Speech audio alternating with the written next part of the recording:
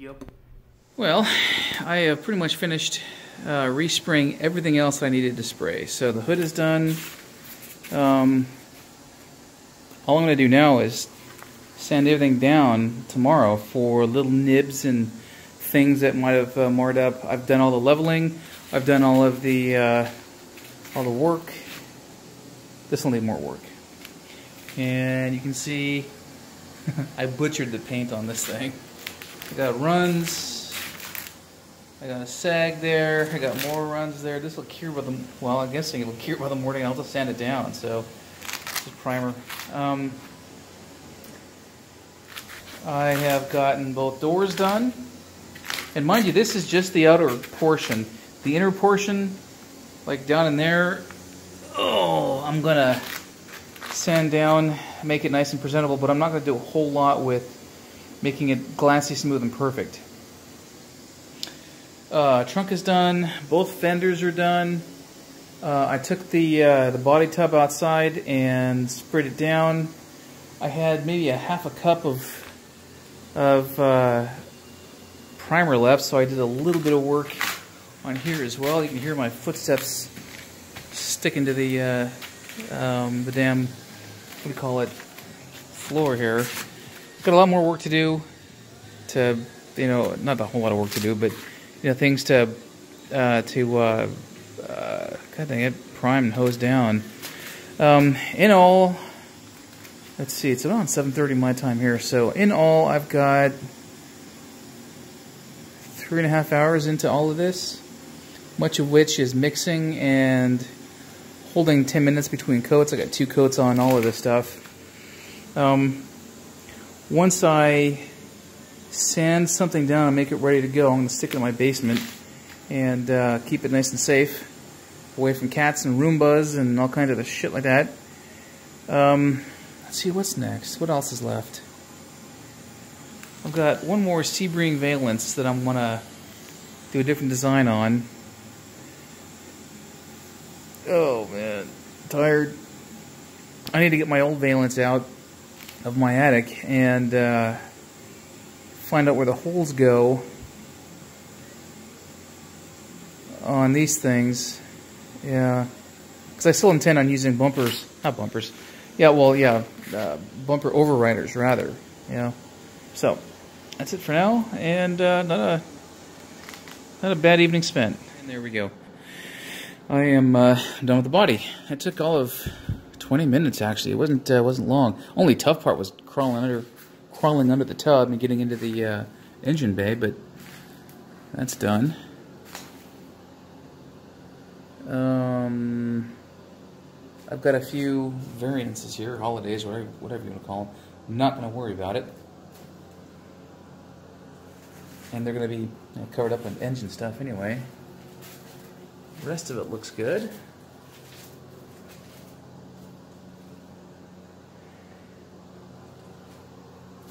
All of the uh, all of the dark spots, all the spots I had welded, welded through, uh, send it through, are gone.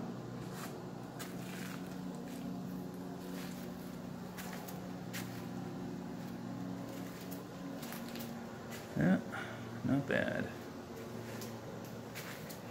Trunk is done.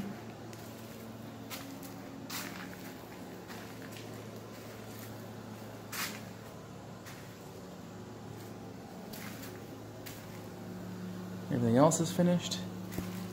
What I do have are these little nibby things. And I'll get those when I uh, when I sand this stuff nice and smooth. All of my outer stuff is ready to go. I'll start, uh, I'll probably start, well yeah, I am going to start in on the uh, wet sanding, the minor sanding of these bits. And they're going to end up in my basement to make room.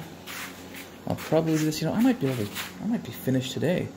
I could literally start painting tomorrow if I had the time on a Sunday.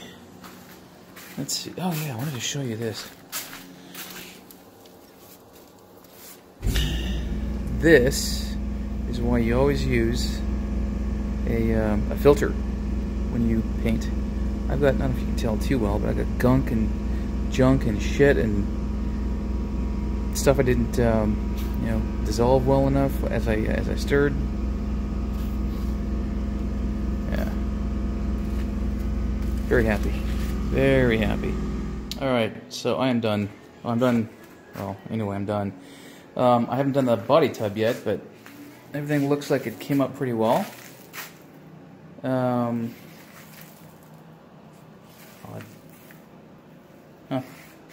Um, I've even managed to sand this down a little bit.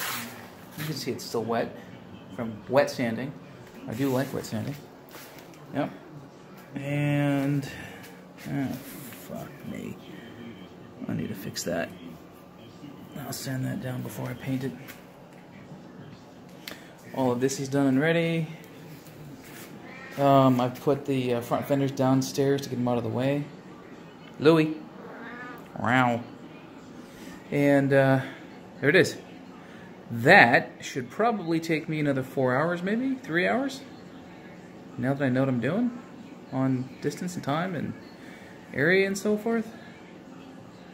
Um, yeah, I mean, uh, honestly, uh, God dang it, the large front fender takes 10 minutes, or maybe 15, 15 each, so, you know, not bad, not bad at all. That is, so what I'm saying is this won't take me all afternoon. I've got some other dinner plans and things to do, but I'll be able to finish this off tomorrow. And this forces me in, in, into the conundrum of what fucking color am I gonna make this thing? Red, yeah, some sort of a red, but you know, I want a dark red. Yeah. All right, I need to go sit down. My back hurts.